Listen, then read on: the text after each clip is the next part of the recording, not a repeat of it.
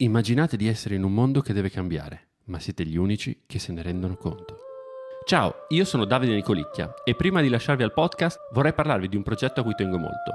Si tratta di Luna, il prossimo cortometraggio scritto e diretto da Aurora Ovan per il quale curerò la fotografia. Sarà un corto sci-fi ecodistopico, con attori internazionali e sarà una coproduzione tra Italia, America e Serbia. Essendo un progetto molto ambizioso, abbiamo deciso di lanciare una campagna crowdfunding su Indiegogo. Se siete curiosi di scoprire il mondo di Luna e supportarlo, vi lascio il link in descrizione.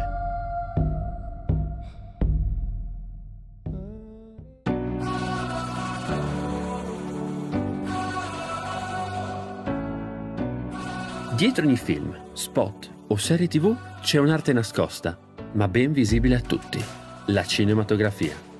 E Backlight vuole far luce su di essa. Io sono Davide Nicolicchia, direttore della fotografia e operatore, e in questo podcast ascolterai le voci e le storie di chi la crea. Benvenuti su Backlight.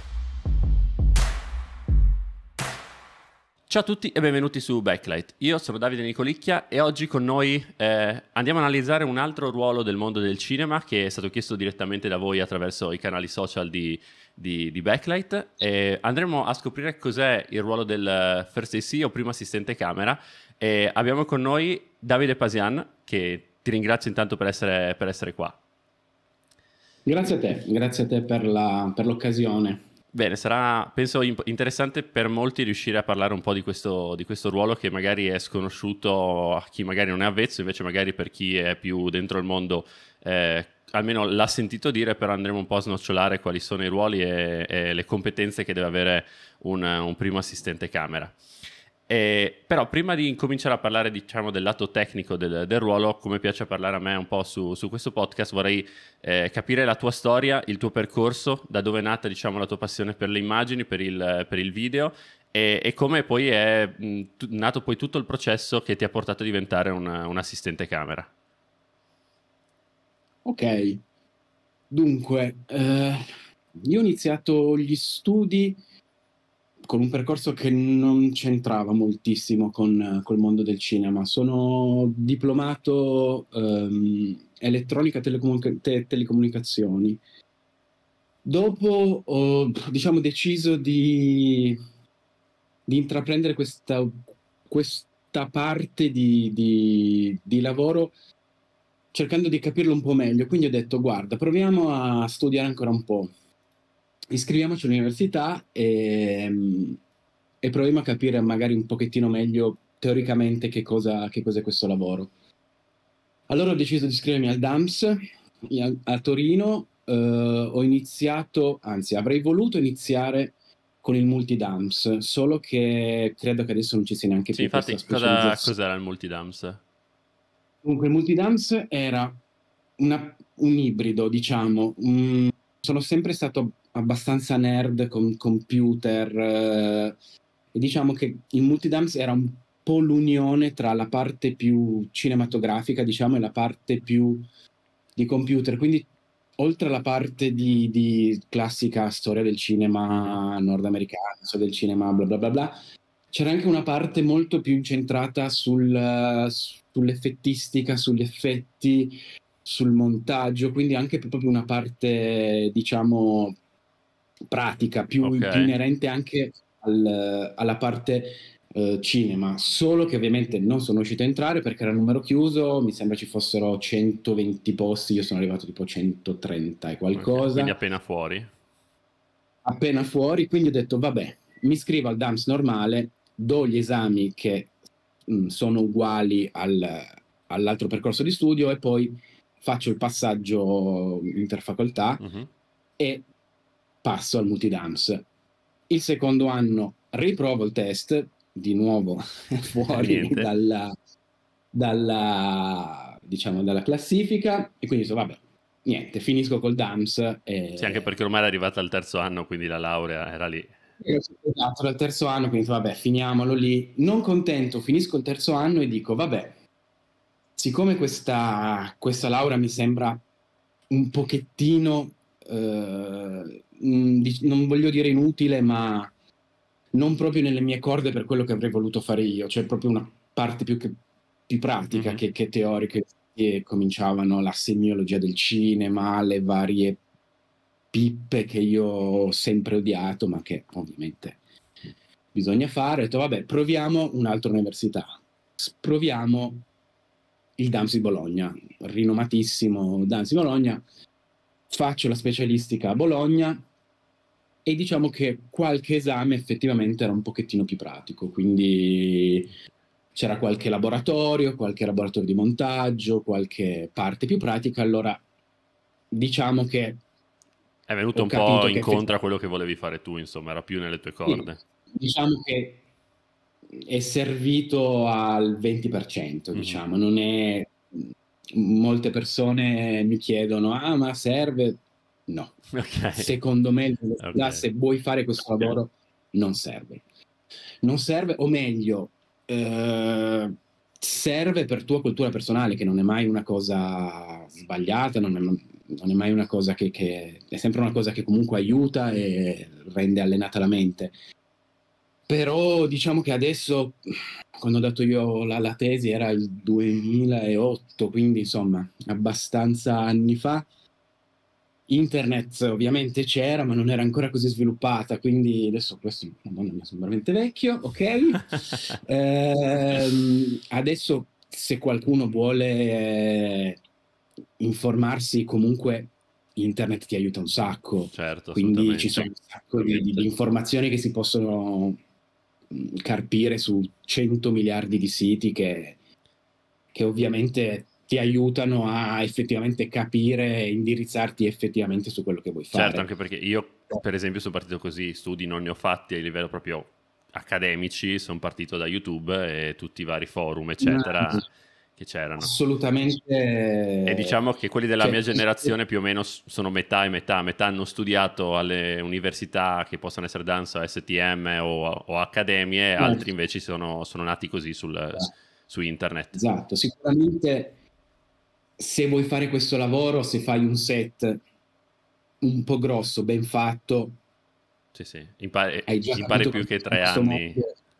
Bravissimo, bravissimo. Che tre anni di studi. Soprattutto entri nel mondo del lavoro cinque anni prima di me. Nel senso, paragonando a un ragazzo della mia stessa età che non avesse fatto l'università ma si fosse diretto subito al mondo del lavoro, adesso avrebbe 5-6 anni più di esperienza di me, mm. che comunque in questo mondo eh, Madonna, tantissimo, fanno. certo. Quindi sì, ti sei... Soprattutto... Vai, finisci. No, dicevo, soprattutto con eh, l'evoluzione che ha questo mondo di, di, di tecnologia, di, di eh, nuove, nuovi sistemi, nuovi formati, nuovi, nuove luci, nuovi... Nuove tecnologie. Quindi, esatto, ed, ed essere sicuramente entrare prima, come tutte le cose, ti aiuta. Aiuta, certo.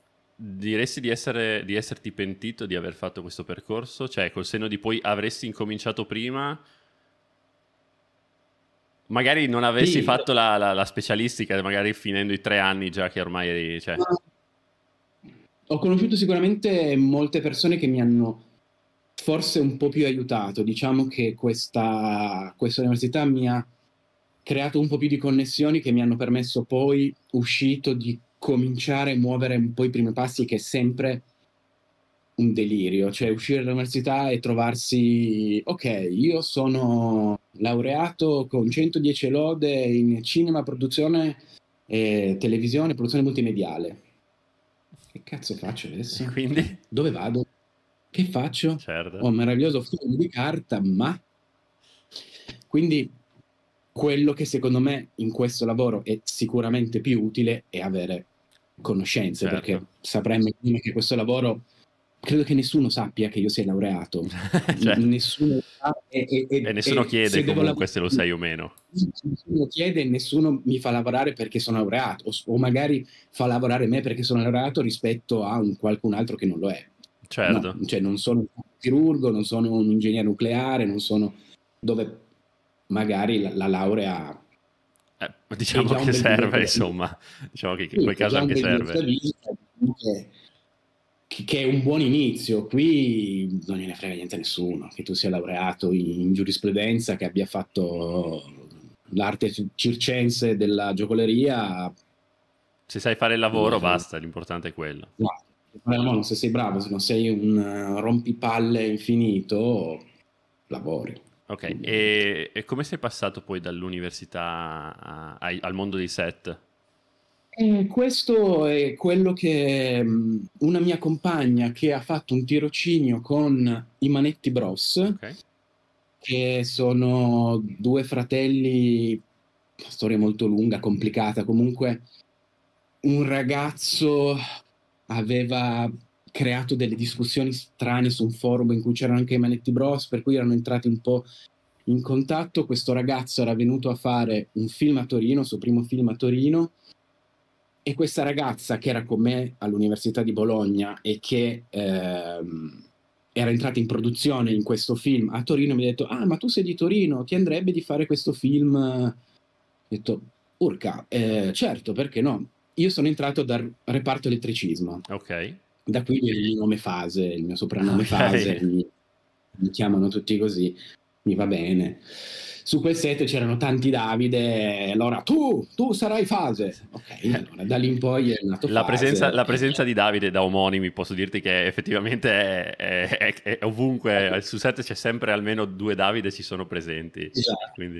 E lì in combinazione eravamo veramente tipo tre o quattro di cui due nello stesso reparto, per cui sì, sì. era abbastanza un delirio. Davide, sì, sì, dimmi, dimmi, dimmi, dimmi, per radio era un casino, quindi dal terzo giorno tu sarai fase. E da lì sei rimasto fase.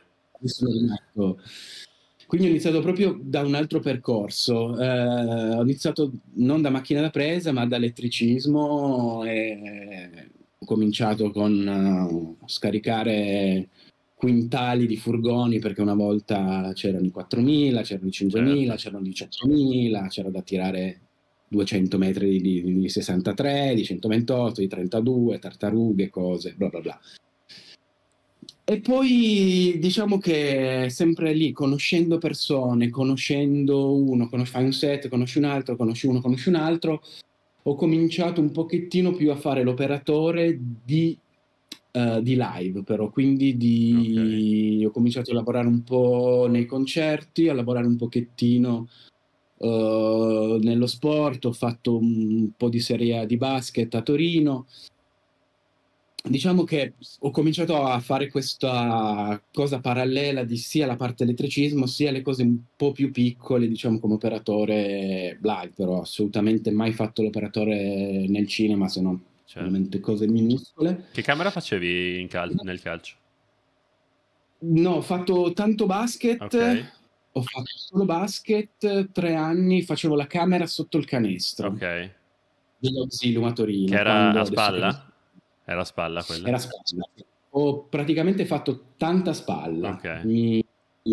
Ho fatto poi un po' di concerti, un po' in giro per l'Italia, un po' in Sardegna come spalla e, ehm, e poi ho deciso, ma senti, ma a questo punto proviamo anche un po' a cambiare strada. È un po' difficile in questo mondo. Se sei inquadrato in un mm. modo, riuscire a cambiare strada non è ben visto, non è, diciamo, non è, non è stata una cosa semplice, non è, è stato un po' ricominciare. Ho avuto tanti ricominci in questo, in questo mondo. Sono stato in Australia poi un anno, quindi un anno, no, otto mesi, nove mesi. Quindi tornando ho dovuto ricominciare un po' di nuovo tutto, poi ho avuto un brutto incidente nel 2017, per cui sono dovuto rimanere fermo quasi un anno anche lì, quindi ho dovuto ricominciare. Diciamo che ci sono stati parecchi... Alti e bassi. Sal- sì, sì, però dai, adesso va bene, non ci lamentiamo, non facciamo i soliti italiani che si lamentano per tutto. Esatto, e quindi il passaggio, cioè a passare poi il lato, lato, lato camera, diciamo, reparto camera? camera è stato, ho fatto, se devo essere sincero, abbastanza poco l'aiuto. Uh-huh. Non ho fatto il video assist, ho fatto sempre ho fatto i video assist ma su robe veramente piccole che non, non si possono non è considerato video assist insomma a quel punto. No, è un assistente è generico su e, diciamo camera di, di, di, tutto e che fa tutto però solo il video assist non l'ho mai fatto. Ho fatto un po' l'aiuto e, e poi sono passato a fare l'assistente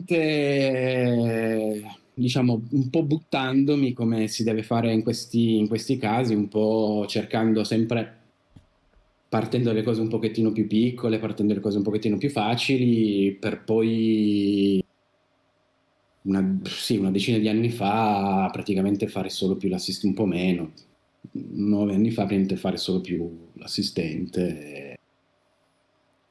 E via, adesso è solo più, è solo più quello. Ok, quindi diciamo che adesso fai 100% assistente o comunque fai anche qualche lavoro secondario, cioè fai ancora un po' di... No, capita quei lavori un pochettino più piccoli dove magari ti dicono, ah, magari poi le schede le scarichi tu. Sì, ok. Eh sì, io gli dico, guarda, io ho un banalissimo software, inserisco la scheda, me ne vado e quello che succede succede. Sì, non sì. sarò sicuramente lì, anche perché sono due ruoli che ovviamente non possono coincidere. No, cioè, se certo. sto davanti al computer non ti faccio i fuochi, quindi... scegli tu, scegli tu. Che sia davanti al computer ci sto, però avrei delle merav- meravigliose riprese ma sfocate, quindi eh, così. Però diciamo che al 90% faccio solo l'assistente. Ok, eh, adesso arriviamo un po' al fulcro, sì. al fulcro della, della, della, puntata. Se vuoi raccontare un po' che ruolo è quello dell'assistente, come si dividono gli assistenti, perché ci sono vari, vari ruoli poi sotto gli assistenti camera. Quindi un po' i compiti, cos'è, cosa fa un assistente camera nel cinema e magari anche le differenze magari nel cinema e nelle produzioni magari eh, più commercial o comunque più piccole, insomma, come si dividono i lavori.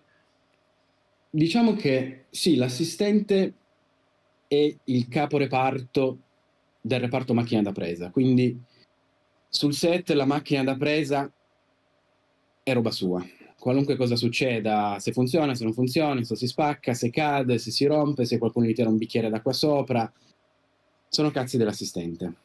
Quindi è responsabile sul set del funzionamento della macchina da presa. Tutto parte dai provini, quando ce li fanno fare, non è sempre detto che i provini mh, te li permettono, fatti. certo. Esatto. E quindi i provini sono, diciamo, la costruzione, come se giocassi con i Lego, della macchina da presa con varie altre, varie altre cose che possono servire per, per lo shooting, per la ripresa, quindi i fuochi, i trasmettitori video, i focus bug o i classici, diciamo... Le antenne... Che possono essere i vari aiuti che, che possono dare a un assistente, i vari modi per cui può essere montata la macchina presa, quindi a spalla, a mano, Ronin, steady, e quindi riuscire a capire tutte le varie modalità e soprattutto che cosa ti serve per poter passare da una modalità all'altra nel più breve tempo possibile e senza ovviamente stravolgere la macchina tutte le volte che ti viene chiesto di una spalla, una steady o un ronin o quello che è. Una volta che si è terminata questa fase, quindi la, la costruzione proprio fisicamente ci si mette lì con i cavetti, con le vitine, con i pezzetti, pezzettini, a montare la macchina nel miglior modo possibile, in base a quello che l'operatore, che è strano perché cioè noi siamo i capi reparti, ma comunque dobbiamo rendere conto all'operatore che certo. è quello che effettivamente poi userà la macchina da presa. Quindi se lui mi dice, ah no, io voglio la macchina da presa più piccola possibile, la voglio il più leggera possibile, la voglio pesante sulla schiena perché è tutta spalla, la voglio... Ognuno ovviamente... Come, come gli va più comodo giustamente per lavorare. Come gli va più comodo. E noi in quel caso siamo degli esecutori, quindi cerchiamo di soddisfare il più possibile le, le richieste dell'operatore o del DOP nel caso che fosse DOP operatore. Dopodiché su, sul set eh, l'assistente operatore, oltre a montare, comunque a tenere sempre in ordine la macchina, è quello che fa i fuochi, cioè eh, regola la messa a fuoco sul, sulle ottiche quindi decide che cosa mettere a fuoco. Ovviamente decide lui mh, mm, mm, per, via ca- per, via di quello che gli viene detto, ovviamente non è che si prende la libertà di... Certo. Ovviamente ci sono delle situazioni per cui è palese che se c'è un campo contro campo e io una spalla di uno, ovviamente metterò a fuoco il volto, il soggetto. certo. Ovviamente. Sono cose che sono ovvie, ma che magari all'inizio qualcuno che inizia. Insomma, ovviamente eh, un, una, una um, strada normale prevede il passaggio da un video assist, da un uh, aiuto, per cui magari cominci già a capire come funziona questo mondo, cominci già a capire che cosa sarà effettivamente poi il lavoro dell'assistente, se effettivamente poi un aiuto vorrà passare a fare l'assistente, certo. non è neanche detto, sono mm-hmm. degli aiuti che sono bravissimi aiuti e che non hanno nessuna intenzione di passare a fare l'assistente. Ehm, niente, sul set fonda- fondamentalmente la squadra è composta da assistente, primo assistente, se c'è un'altra macchina, quindi la macchina B, la macchina C, la macchina D e bla bla bla, c'è un altro assistente, un altro primo assistente della macchina B, un altro primo assistente della macchina C e così via. Mm-hmm. Sotto di, di, lui, di loro, ovviamente il primo assistente della macchina A è un po' il capo certo. di tutte le macchine da prese. Ovviamente poi ogni macchina è gestita dalla propria squadretta, nel senso primo assistente aiuto, ma è, fa sempre capo al primo assistente della prima macchina. Certo. Sotto, sotto l'assistente c'è ovviamente l'aiuto o gli aiuti se ci sono più macchine o molto spesso capita che ci siano due macchine e un aiuto nelle produzioni un po' meno ricche, quindi l'aiuto deve correre tra macchina A e macchina B, tra i due primi assistenti per le, le varie richieste. Sotto l'aiuto c'è il, il, video assist, il DIT. Il DIT forse è più dell'aiuto, ma diciamo che è una parte... Diciamo che si dividono, non, non è che sono proprio lineari, ah, cioè non sono una cascata, esatto. Esatto, non è fisicamente sul set, diciamo che ha la sua parte di, di lavoro che alle volte può capitare che diano una mano, ma fondamentalmente il DIT sta a un monitor e, e, e, comunque non è, non dico fisicamente sul set perché è fisicamente sul set, però non, non è n- nella catena della macchina da presa che effettivamente gira certo. le, immagini. Ovviamente le vedi, ovviamente è, Ci quasi lavora, sempre certo. è, lavora, è, solitamente è a fianco al DOP, per cui loro due interagiscono molto e quindi diciamo che è, è più dalla parte del, del DOP, diciamo. Mm, sì, diciamo che sono molto ramificate come, come mm-hmm. strade, però sotto l'aiuto ci può essere un camera trainee mm-hmm. quando le produzioni sono un pochettino più grosse, quindi ti, ti permettono di avere un camera trainee che solitamente è una persona che, che inizia, che, che, fa i primi passi in questo mondo, quindi diciamo che è un po' sotto le ali dell'aiuto, quindi lo, lo comincia piano piano a, diciamo, a, a insegnare nel mondo della, della, del ah, cinema, insomma. Cosa, chi fa cosa, chi fa come. Diciamo che comincia a, a delegare anche un po' l'aiuto al camera trainee se questo camera trainee effettivamente è sveglio e se la cava, qualche lavoro che magari può essere mettere in carica le batterie, spostare magari le cose non troppo preziose da una parte all'altra, insomma, gestire un po' i cavi, gestire un po' magari i cavi del DIT quando si spostano.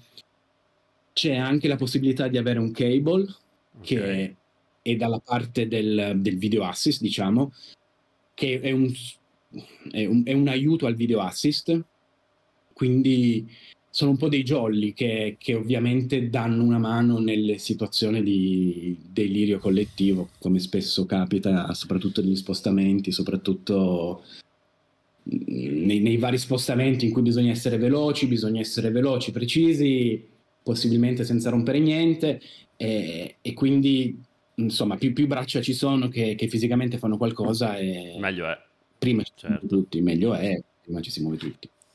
Quindi diciamo che il, il, il ruolo principale sì. comunque è quello di gestire la camera e, e, fare, i, e fare, i, fuochi, diciamo, tenere, tenere i fuochi. Diciamo che alla parte di gestione anche proprio del reparto, cioè chi fa cosa, chi va dove. Eh, diciamo che sì, fondamentalmente poi i primi giorni è sempre più un casino come al solito, per cui bisogna un po' rodarsi tutti, bisogna un po' insomma capirsi e entrare nell'ottica del, del lavoro, però diciamo che una volta partito, sì, l'aiuto ha tanti compiti. Poi ci sono diversi tipi di assistenti, nel senso, ci sono gli assistenti che arrivano con le, i mocassini, la camicia, loro girano veramente proprio solo la rotella e premono il tasto. Sì, sì, sì. Io dico sempre, noi siamo dei giratassi, dei, dei premitassi e girarotelle. In verità n- non è così certo. semplice. Diciamo che eh, si, vedono, si, vedono, alcune volte nei backstage di Hollywood, dei film grossi, che ci sono proprio quelli che sono un po' come vedi anche i direttori della fotografia vestiti con la camicetta, il, il cappello, la giacchetta, guarda, eccetera. Non, che, solo audio, che non... non solo audio, anche qui e ci sono anche gli assistenti, i focus puller, insomma, gli assistenti camera che sono vestiti come per andare in giro normalmente. Eh... Certo, no, no, ma capita. Ma allora in America c'è anche la, dis- la, la, distinzione tra focus puller e assistente. Mm. C'è veramente la differenza tra chi fa solo esclusivamente i fuochi, per cui difficilmente tocca la camera, okay. e molto spesso l'assistente che tocca la camera, cioè prende, fa, monta, disfa, disfa, o l'aiuto, e il focus puller che fa veramente solo fuochi. È molto rara come, come cosa, però, però c'è certo. c'è. Eh, io non sono così, cioè io sono uno che... Ti piace carico, mettere scarico. mano, certo, essere attivo. Sì, sì, mi piace mettere mano perché non... mi è sempre piaciuto, cioè quando posso aiuto, non sono una persona che si siede e va a pigliarsi un caffè quando magari c'è, c'è l'aiuto che si sta ammazzando a portare un Megliner carico di, di 50 kg di, di, roba con 25 mila robe sopra, due teste, due cavalli, due robe.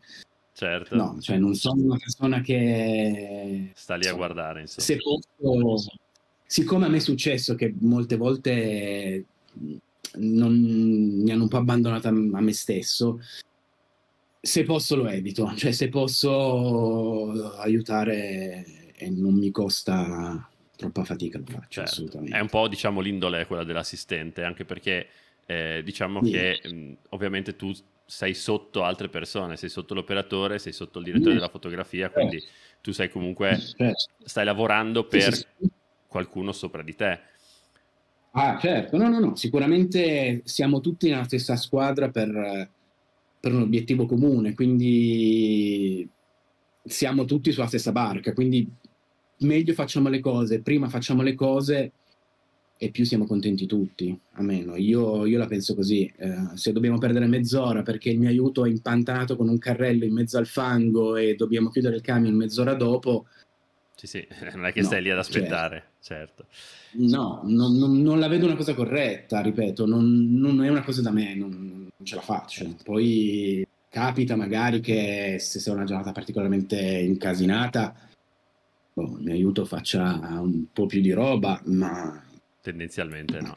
E, e no. cosa, mm, questa è una curiosità, c'è qualcosa del tuo ruolo che proprio non ti piace meno, diciamo, no, no, non ti piace, però ti pesa un po' di più fare, e invece magari quella che ti piace di più? Ma che mi piace meno...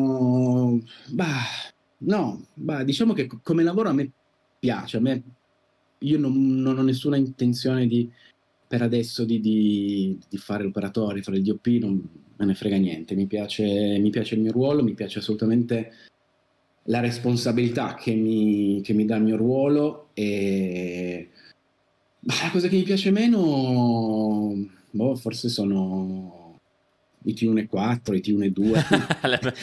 che sono un po' complicate, dici. Ah, sì, no, va bene, adesso si scherza. Oramai c'è questa moda di girare in wide open che, che ormai già, già da un po', però... Forse sta, fa, sta anche senso. passando, dai, forse. Sì, cioè, un po', sì, un po sta, sta sì. passando, dai. Sì, Tanto, diciamo tanto, che, sì, che, il ritorno anche alle ottiche vintage un po' aiuta a tenere un po' più chiuso perché sennò quelle già sono morbide di loro. Sì, assolutamente aiuta. La cosa che mi piace, beh, io sono abbastanza uno smanettone, quindi mi piace fare, costruire, mi piace trovare soluzioni a problemi. Mi sono comprato una stampante 3D per crearmi degli accrocchi, per poter fare le cose meglio. Per... Ho la fortuna di avere un papà che ha un'officina meccanica con uh, torni frese, quindi... Se devi farti qualche pezzo te lo, te lo, fai, insomma, te lo fai fare in maniera veloce, rapida. Amici, colleghi, ah guarda, ho spanato una vite, riesci a togliermela? Sì, certo. Ah guarda, c'è sta cannetta che è troppo lunga, riesci a... Sì, certo. Ah, c'è sto pezzo. Sì, certo. Potrebbe essere eh, un business beh, secondario quello. Sì, no, ma effettivamente qualche cosa sì, però So, no, sono, certo. diciamo, sono lavoretti che, che, faccio volentieri per più che tutto dare una mano a, a tutto, al gruppo, ai colleghi, eccetera. Sì, a, cioè, se io avessi avuto la fortuna che ho io adesso con mio padre, cioè, cavoli, cioè, è una cosa veramente molto, molto figa, insomma, è una, una roba che non è molto comune avere la possibilità di non dico avere tutto quello che vuoi perché sem- insomma, sembra un po', però di avere la possibilità di, di, creare quello che effettivamente ti serve, come ti serve. No, infatti. Insomma, è una bella. Diciamo che il tornio cosa. non è che tutti ce l'hanno a casa, magari qualche pezzo base riescono no, a esatto. farselo, però il tornio non è proprio una cosa comune che trovi.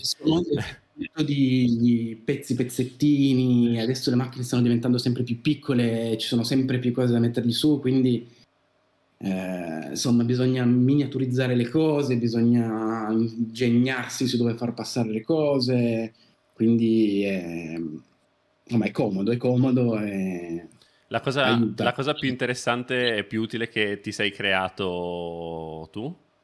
Se ti viene in mente così al volo. Vabbè, mi sono creato un supporto per il mio monitor per riuscire ad attaccare un Teradek direttamente al mio monitor, ho creato una fake battery, un NPF okay.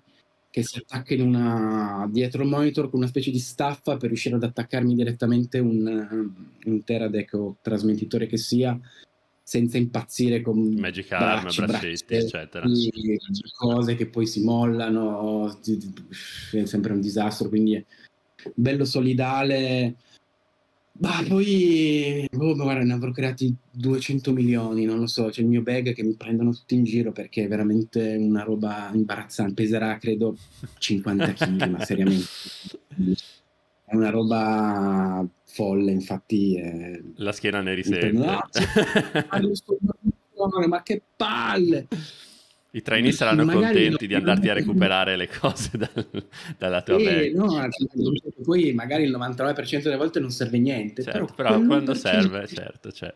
Ti serve, magari ti salva la vita, ti salva la giornata, ti salva il setup di quel momento. Certo. Poi, vabbè, si fa di necessità virtù, come si è sempre detto. Eh, insomma, l'arte dell'accrocchio in questo mondo è, è fondamentale. Insomma, fondamentale della prima regola de, di questo mondo. E hai, hai accennato alla questione del, del, salto di ruolo, diciamo, da operatore a direttore della fotografia. E ti chiedo, sì. cosa spinge una, un assistente camera a rimanere, eh, a rimanere, fermo in quel ruolo e non, a, non avere l'ambizione, diciamo, di andare avanti? Eh, anche perché, insomma, ormai, perché, insomma, ormai hai, cioè, nel senso, è arrivato a un certo, penso, livello della tua carriera che, che, vecchio? No, non vecchio, però ne hai fatta di esperienza, ne hai fatti di salti, quindi eh, l'età e l'esperienza ce l'avresti per volendo fare il salto. Cos'è che ti spinge a rimanere, ah.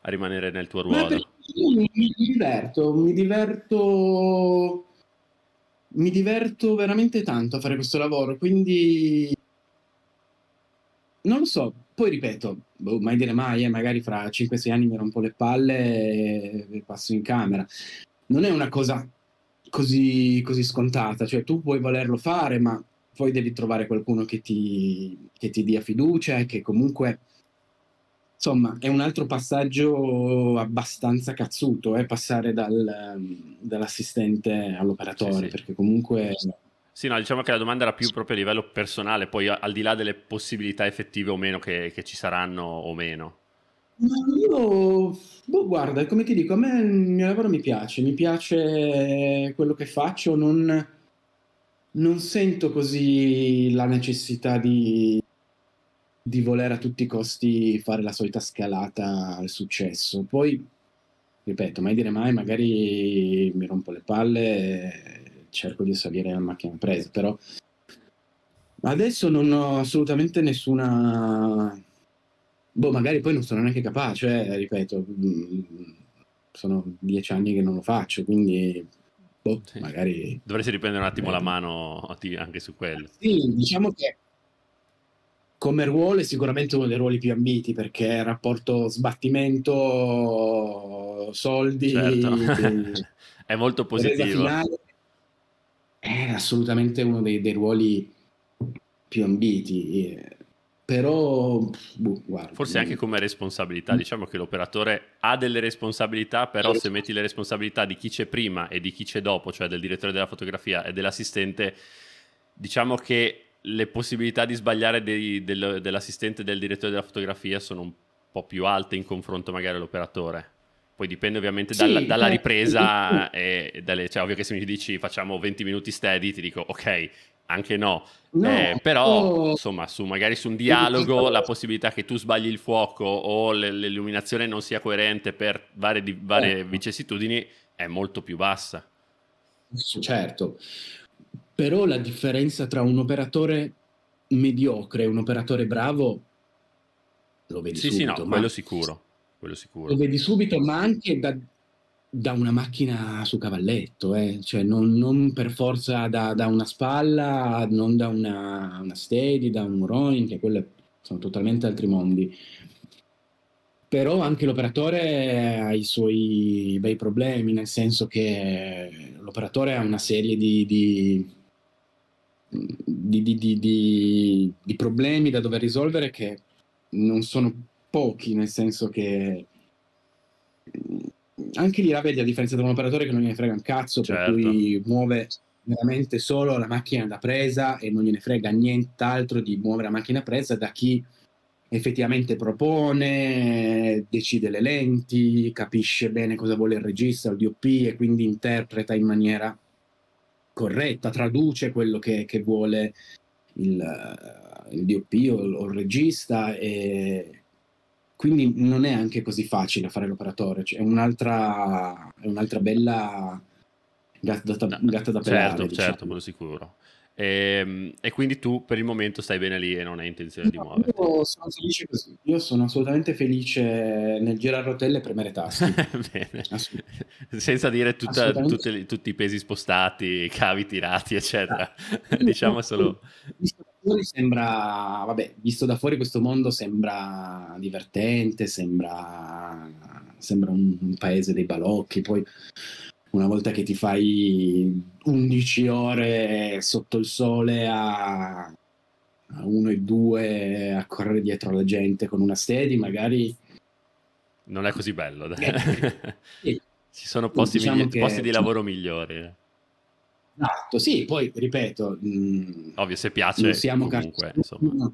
Non, non, uccidiamo nessuno se qualcuno sbaglia, cioè se, se sbagliamo non muore nessuno, quindi diciamo che abbi- facciamo un lavoro che, che, comunque è un lavoro molto figo. Certo, è un lavoro, è un lavoro che, che, un, che, per quanto possa essere bello visto esternamente è comunque faticoso, è un lavoro decisamente usurante, però è figo. Eh, su quello, su quello non ci piove, non ci piove. E, ehm, secondo te, che caratteristiche deve avere un, un assistente camera? Allora, secondo me un assistente camera deve avere principalmente la caratteristica di, di, di, essere, di essere liquido, cioè di, doversi, di potersi adattare alle 200 milioni di, di, eh, di possibilità e di, di problemi e di, di, come si può dire, di neanche difficoltà, di ambienti di lavoro, di, di modi di, lavorare, di capacità, deve essere abbastanza duttile, deve poter eh, cambiare modalità di lavoro e soprattutto cambiarlo il più in fretta possibile in base alla, alla situazione in cui si trova. Deve essere una persona che ovviamente sappia relazionarsi con più persone, perché comunque si ha a che fare con più persone, certo. sia di grado più alto di lui, che di grado più basso. Quindi saper anche, dico impartire ordini, ma ovviamente... In senso positivo. In senso positivo, cioè riuscire a gestire una squadra che eh, comunque deve funzionare e, e non si, soprattutto non si debba bloccare mai, perché se si blocca, che ne so, ah non ci sono più batterie, eh, è un, cioè, fermarsi, cioè fermarsi perché il tuo aiuto si è dimenticato di mettere in carica le batterie. Ovviamente non succederà mai perché... Certo, ne hai sicuramente abbastanza per riuscire ad andare avanti anche se ti dimentichi di metterle in carica durante il set. Sì, cioè, ripeto, sempre nell'ipotesi per cui un aiuto non sappia fare il suo lavoro e non ti mette in carica le batterie, e, eh, la macchina si spegne perché le batterie si scaricano, non ci sono più batterie, è un problema. Certo, o se il data manager, ah ecco, non abbiamo nominato il data manager, eh, tra i vari ruoli del, del, reparto macchina. Se il data manager finisce le schede perché non ha scaricato in tempo o ha solo due schede, si è imballato nello scaricare le schede e smettiamo di girare perché non ci sono più schede, è un disastro. Certo. Tutto questo durante i provini ovviamente ci si interfaccia tra tutti. Quindi con che macchina giriamo, cosa giriamo, quattro schede ti bastano, 5, 6, 10, 50? Avremo delle giornate in cui potremmo non caricare mai le batterie perché siamo in mezzo a un bosco, non abbiamo gruppo elettrogeno, non abbiamo le bluetti, non abbiamo niente per caricare le batterie. Ci servono 30 batterie?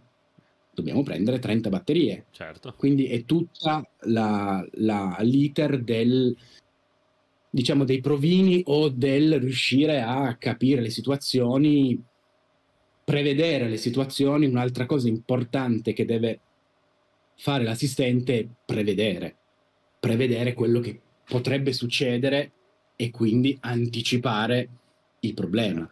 Sappiamo che dopodomani siamo in mezzo al deserto, ok, parli con la produzione, o, o l'aiuto parlerà con la produzione, domani siamo in mezzo al deserto, abbiamo tre macchine che girano, non potremo mai caricare le batterie perché non ci saranno gruppi. Ci servono altre 10, 15, 20 batterie.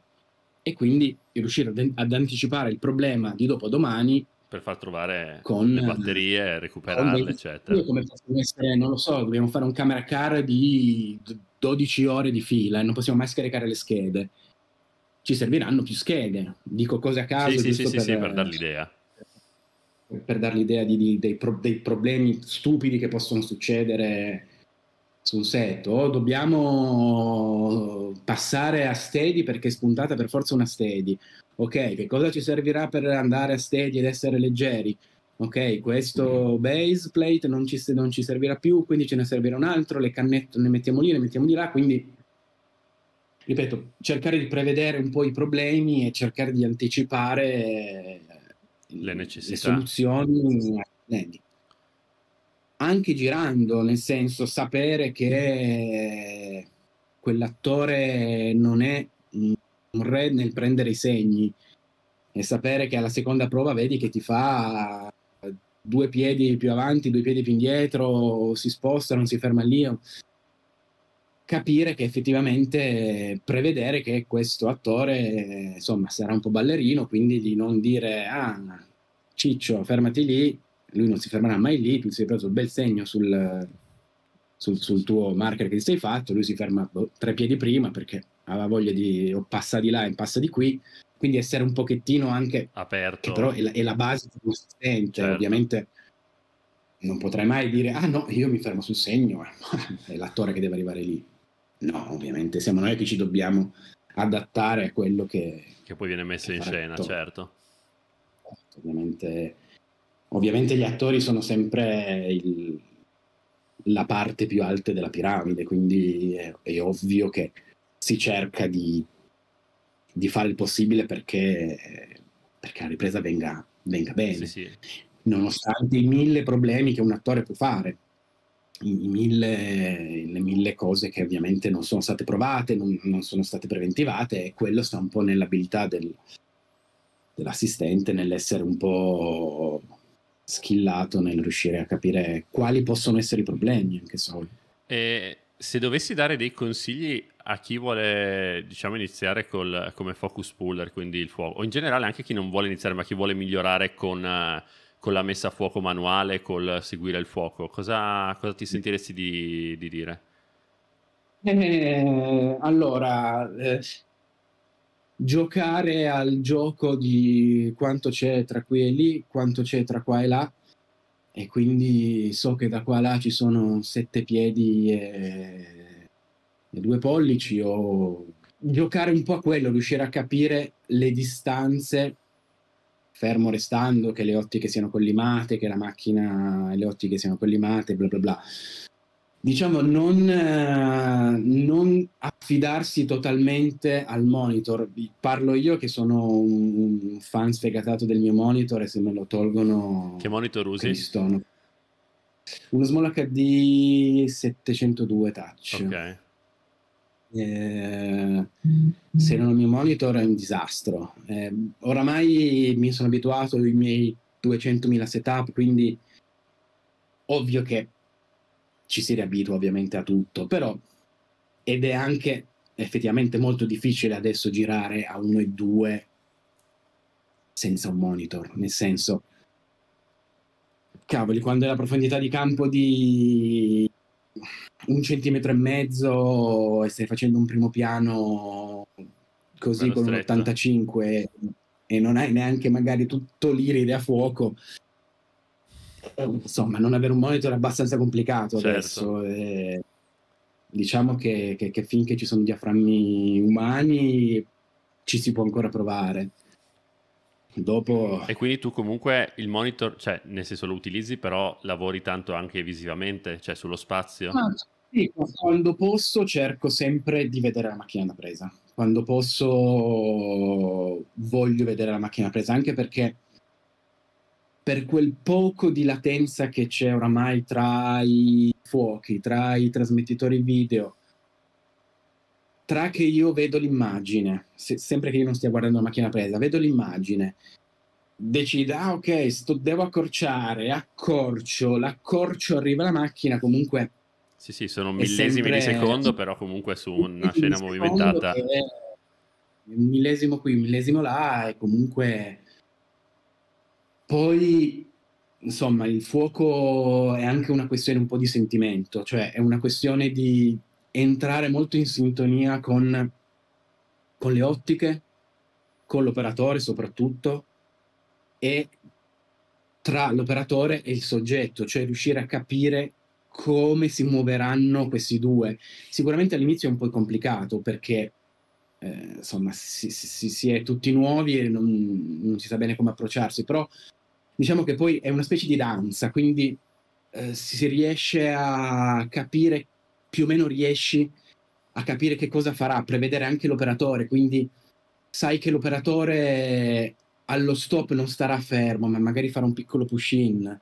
Mm-hmm. Quindi eh, sai che magari allo stop, prima di stoppare la camera, magari lui lo farà questa cosa, quindi magari ti frega una, due, tre, quattro alla quinta lo sai, accorci. Certo. Però sono tutte cose che pian piano capisci e... o magari un attore che, che, magari fa sempre, quando parla magari fa sempre un po' così, uh-huh.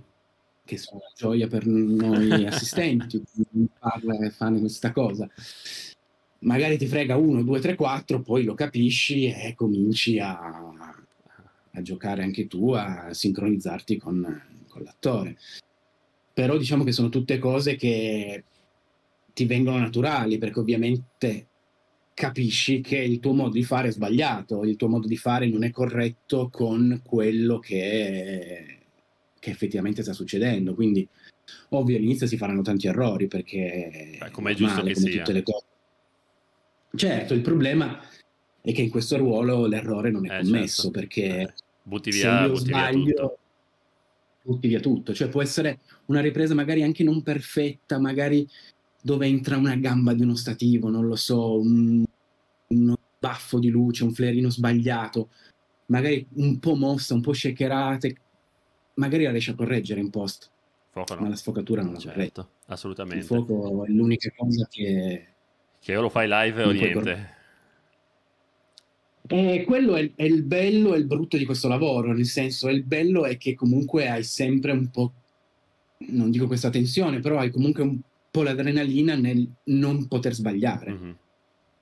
O comunque sbagliare il meno possibile, perché se un elettricista punta una luce male, al secondo take lo rifai, però se la scena era particolarmente complicata, è un casino, eh, oppure ripeto, se, se qualcosa è sbagliato, se una roba lo scenografo si dimentica di spostare una roba, appena buttano l'occhio su un monitor, lo vedo. Anche non avendo girato, ok, quella, quella, penna lì è sbagliata, era girata dall'altra parte prima, lo correggi.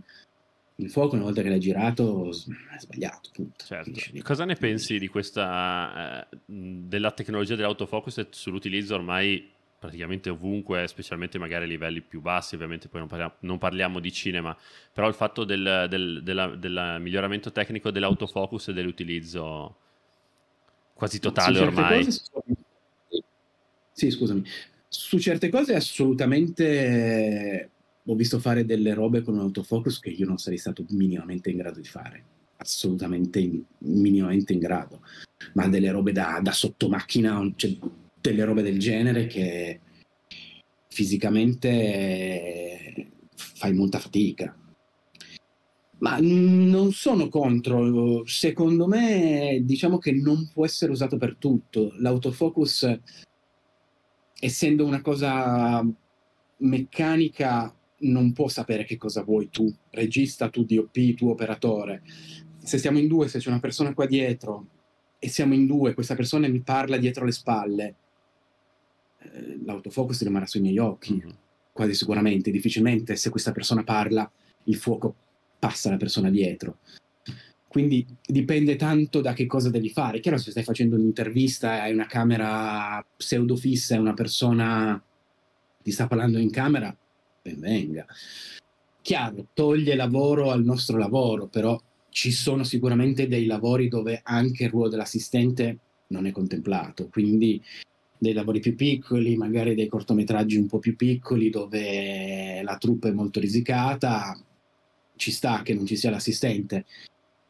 E dipende tutto da quello che, che vuoi fare, quello che, che, che, molto spesso se ne scopre la necessità alla prima volta che non si ha un assistente. Mm. Quindi diciamo che se non si conosce questo ruolo, diciamo che te ne accorgi della necessità la seconda volta bisogno. certo. Perché effettivamente, tolto la parte di, di, macchina da presa, la messa a fuoco, è, molti mi dicono, ah, ma verrete sostituita dall'intelligenza artificiale.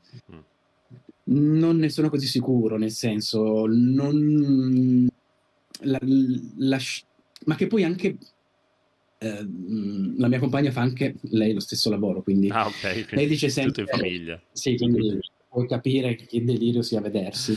Eh, però è, è, bello perché il fuoco di una persona è anche una cosa organica, per cui è bello anche che non sia sempre certo. perfettamente chiaro che se sto facendo la pubblicità dei diamanti non puoi no, sbagliare, certo. ma, sto, ma se sto facendo un, un primo piano e questa persona si muove è bello anche che il fuoco segua l'occhio della persona, è anche bello, è anche armonico ed è bello organica, come cioè una, un'inquadratura è anche secondo me più bella, cioè sembrerebbe veramente una cosa molto molto molto macchinosa, se no... Poi ripeto, ci sono persone che, che mm, non ti fanno sgarrare niente, per cui se l'occhio non brilla sempre e comunque è un errore ci sta anche quello, sono scelte registiche, estetiche, stilistiche.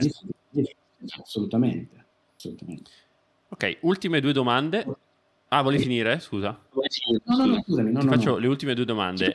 E la camera preferita con cui preferisci lavorare, con cui ti trovi meglio, cioè dal lato di vista di assistente, qual è la camera con cui ti trovi più a tuo agio a lavorare? Risposta molto facile, Harry, okay. senza... Ormai è un must. Perché?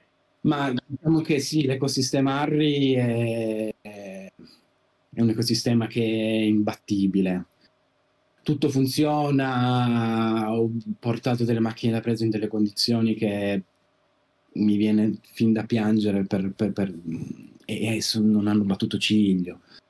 Non hanno battuto ciglio, anche se Sony Venice anche si sta, si sta assolutamente prendendo una bella fetta del mercato.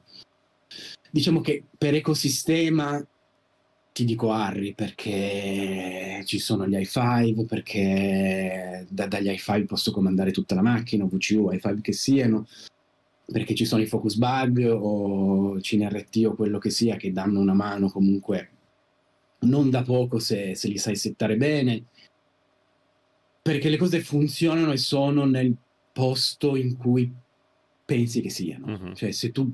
Ma dove potrebbe essere questa cosa? Lì. Qui. Ed effettivamente. Cioè non devi impazzire come un menu di una, boh, di una Sony. FX, no? Esatto. Sempre ritorniamo. Sì, purtroppo, purtroppo le Sony hanno un problema con i... Sì, di una Red vecchia, di, una DSMC2, tolta la, la Raptor, una Monstro, una Ilium o quello che è.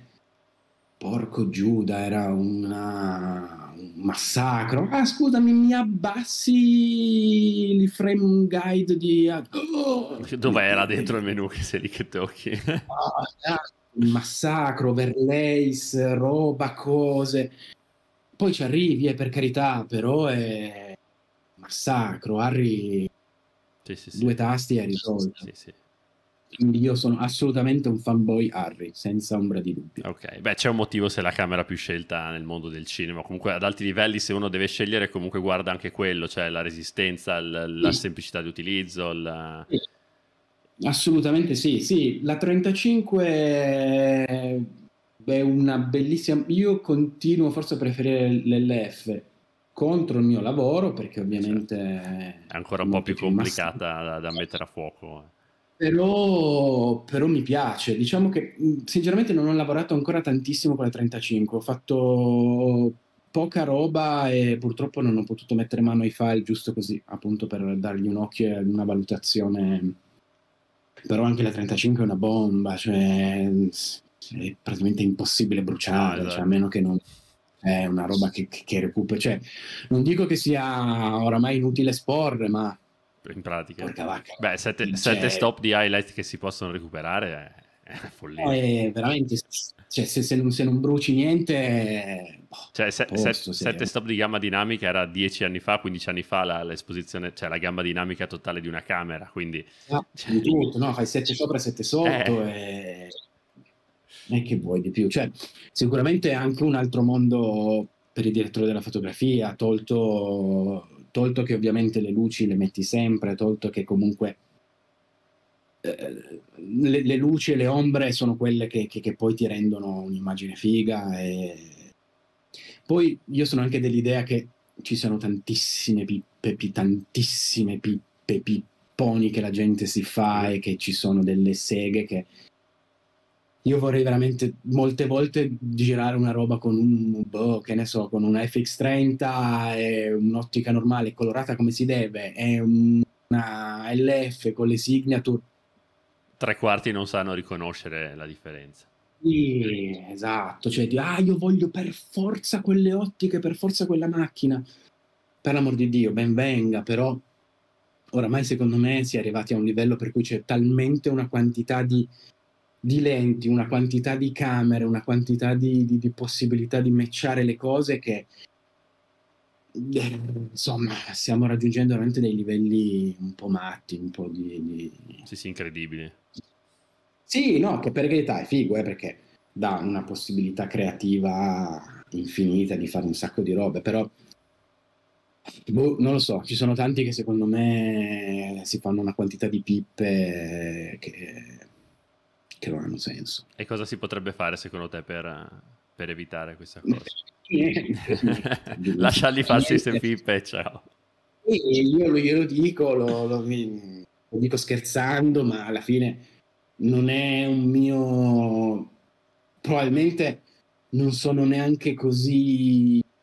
Cioè non sono neanche tanto così skillato in color da poter effettivamente capire le differenze, il, le varie sfumature che una cosa ti può dare rispetto a un'altra, però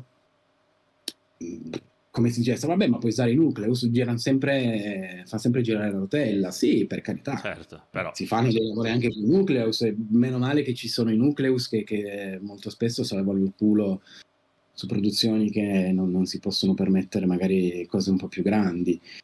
Però chiaro che fare i fuochi con un nucleus o fare i fuochi con un i5 è effettivamente un altro mondo, mondo, certo. Ok, ultima domanda che in, in, parte hai già risposto prima, però cerchiamo magari di approfondire un attimo. Cosa porti sempre con te sul set? Hai già risposto alla tua bag. Cos'è però, se devi trovare uno o due cose che sicuramente ti tornano sempre utili? Sicuramente il mio monitor. Okay. Sono, come ho già detto, abbastanza schiavo del mio monitor, che è una cosa sbagliata perché è una cosa sbagliata, perché la volta che il mio monitor cade si spacca e mi danno un Atomos, io vado in pappa. Eh, ripeto, poi per carità ci si abitua e ci si mette sicuramente eh, al pari con quello che succede. Eh, altre cose boh, che uso spesso, che ne so, una Lederman, che per dire una cosa stupida e basilare che insomma un borsello con un po' di attrezzi che possono servire sempre, un multitool, uh, qualcosa per pulire le lenti, una, una piccola paucina con uh, un liquidino, un pennello, non so che, che altre cose. Bah, bah, poi sistematicamente ti serve sempre quello che non hai. Beh, quindi... quello, quello è classico eh, Però monitor, dai, diresti monitor se dovessi rispondere. Sì, da, da, se proprio mi dicono puoi portare solo una cosa o, e tutto il resto gli diamo fuoco, sì, dico il mio monitor. Okay. Dico il mio monitor è il mio paraluce. E... In verità sono anche abbastanza schiavo di un tavolino che metto al mio stativo, una specie di... in cui butto, che può essere il disto, può essere un po' di robe, un po' di cose che possono servire così da prendere da subito prendere al volo. Al volo, sì. Bah, basta, dai. Beh, dai. Comunque, se, a parte la tua borsa che pesa 50 kg, direi anche basta. direi che è abbastanza. In verità sono tentato di prenderne un altro, di prenderne due più piccole per riuscire a, a dividere un po'. Un po Così puoi portarlo eh, due, con tutte e due le mani, faticare esatto, su due esatto, spalle sì. invece che con una. Io ho un carrellino per portare il mio bag, non faccio ridere, faccio veramente ridere. Infatti tutti i miei colleghi mi continuano a prendere per il culo perché è una roba imbarazzante il mio bag, è una roba gigante, cioè gigante, mi sembra che siano 68 litri, una roba del genere. Enorme.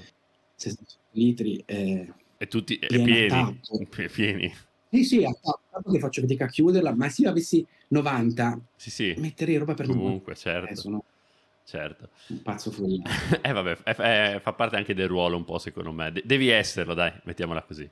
Sì, oh, sì, alla fine tutte le volte che mi serviva qualcosa l'ho fatto, l'ho comprato, l'ho costruito, l'ho buttato dentro, magari poi mi servirà. Certo, poi magari il 90% effettivamente trovi perché ce l'hai lì, altri 10 capita che non ce l'hai. Sì, diventa eh, un po' così. Bene. Un po' un accumulatore Bene, Davide, grazie mille per, per, per, questo, per il tuo contributo e, e, averci raccontato un po' il tuo ruolo e la, e la tua storia. Grazie a te. E grazie a voi se avete seguito fino a questo punto questa puntata di Backlight e ci vediamo alla prossima puntata. Ciao. Hai ascoltato Backlight, il podcast che fa luce sulla cinematografia. I nuovi episodi escono martedì e venerdì. Le interviste sono divise in tre episodi brevi più l'episodio completo, che puoi anche seguire in versione video su YouTube. Ci vediamo al prossimo episodio.